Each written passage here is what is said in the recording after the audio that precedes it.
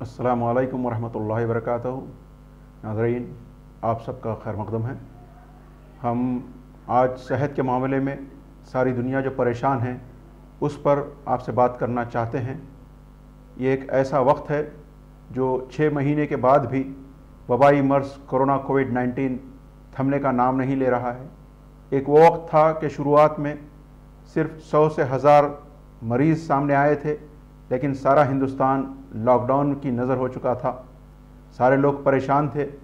Police سختی کے ساتھ لوگوں کو گھر پر رہنے پر مجبور کر رہی تھی۔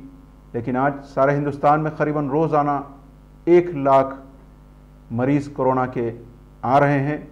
لیکن حکومت بھی مجبور ہے اور عوام بھی بیزار ہے کہ وہ اپنے گھروں سے نکلنے سے نہیں رک رہی ہے۔ اور روزمرہ کی زندگی کی ضروریات انہیں نکلنے مجبور کر رہے ہیں۔ لیکن یہی ایک وجہ ہے کہ ہم باہر کام سے نکلتے وقت جو فاصلوں کو، جو اپنے آپ کو محدود رکھنا ہے، اس کو برقرار نہیں رکھ رہے ہیں، جس کی وجہ سے یہ وبا نہایت تیزی کے ساتھ پھیل رہی ہے۔ ابھی آج جبکہ اسکولس کالجز کھولنے کے لیے سب بے چین ہیں، لیکن حکومت کا یہ اقدام کہ وہ اسکولس کو کھولنے سے رک رہی ہے، وہ اس لیے کہ ان معصوم بچوں کو کہیں اگر وبا پھیل گئی تو بہت مشکل وقت آ سکتا ہے۔ لیکن ساتھ ہی جو کالج کے اور نو اور دسویں کلاس کے اسٹوڈنٹس کو کالجز اور اسکولز جانے کی اجازت دی گئی ہے، انہیں اپنے فائدے کا صحیح استعمال کرنا چاہیے۔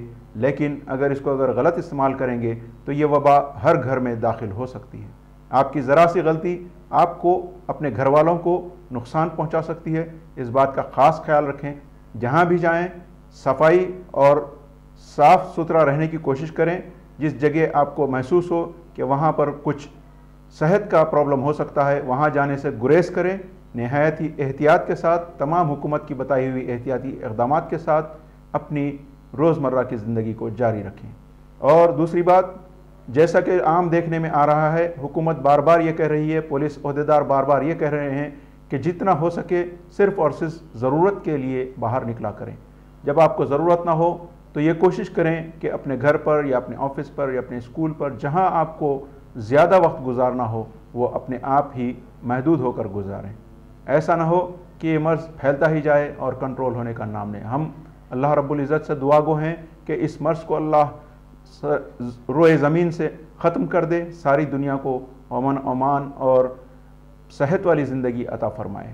اس کے ساتھ ہی ہم آپ کو بار بار یہ بتاتے چل رہے ہیں اور یہ سب سے اہم بات ہے کہ جو چیز آسانی سے ساری دنیا میں اویلیبل ہے، وہ ہے شہد اور قدرتی غذائیں۔ آپ اپنی غذاؤں کو دیکھیں اور پھر ان غذاؤں کے ذریعے اپنی امیونٹی کو صحیح رکھیں تاکہ مرض کے حملہ ہونے یا نہ ہونے کی جو آپ کی صحت ہے جو آپ کی جسمانی کیفیت ہے، طاقت ہے، وہ اسٹرانگ رہے تاکہ آپ صحت مند رہ سکیں۔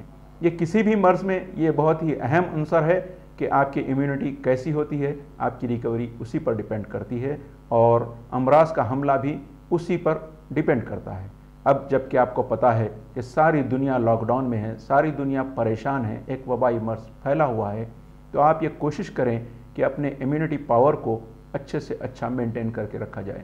یہ ضروری نہیں کہ مہنگے سے مہنگے نسخہ جات اور ڈرنکس کے ذریعے ہی آپ امیونٹی کو اپنائیں، لیکن آپ اپنی روزمرہ کی زندگی میں غور کریں، جو آپ کھا رہے ہیں، جنک فوڈ سے پرہیز کریں اور سادہ غذا لیں، لیکن بہترین غذا لیں۔ اور اس بات کا خیال رکھیں کہ جو غذا پکائی جا رہی ہے، وہ بھی صاف ستھرے طریقے سے تیار کی جا رہی ہو۔ باہر کے کھانے جتنے ہم استعمال کرتے ہیں، ایک مجبوری ہے، لیکن یہ دور ہے کہ اس سے احتیاط برتی جائے۔ لیکن اگر ہم اپنی روش نہیں بدلیں گے، تو پھر مشکل ہے کہ ان مشکل حالات میں ہماری صحت کا ماحول بہت جلد کنٹرول آنے والا نہیں ہے۔ لہٰذا ہم آپ کو پھر ایک بار یہ ریمائنڈ کر دیں کہ اپنے اطراف میں موجود جو پھل ہیں، جو ترکاریاں ہیں، اور پھر اس کے ساتھ ریگولر اگر آپ شہد کا استعمال کرتے ہیں، جو کہ قرآن مجید میں اور رسول اللہ علیہ وسلم کی احادیث میں موجود ہے کہ اس میں شفا ہے، تو اگر آپ کو کرونا ہو بھی جائے تو وہ ہو سکتا ہے، بے شک اس کے ذریعے شفا مل سکتی ہے۔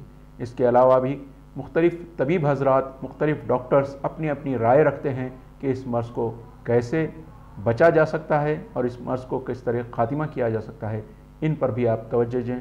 اور ہم انشاءاللہ آگے کے ایپیسوڈز میں مختلف ڈاکٹرز اطباء حکمہ وغیرہ سے بھی آپ کی ملاقات کرائیں گے جو صرف صحت کے بارے میں بہترین معلومات رکھتے ہیں اور آپ تک پہنچانا ہمارے اس چینل کا ایک منشا ہے، ہمارا ایک پروگرام ہے، جس کے ذریعے ہم یہ چاہتے ہیں کہ آپ کی زندگی صحت مند رہے۔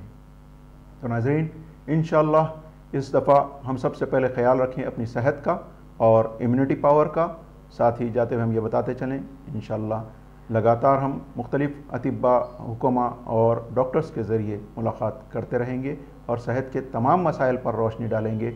آج کے لیے اتنا ہی۔ جزاک اللہ۔ ہمارے ساتھ بنے رہیے گا۔ اللہ حافظ۔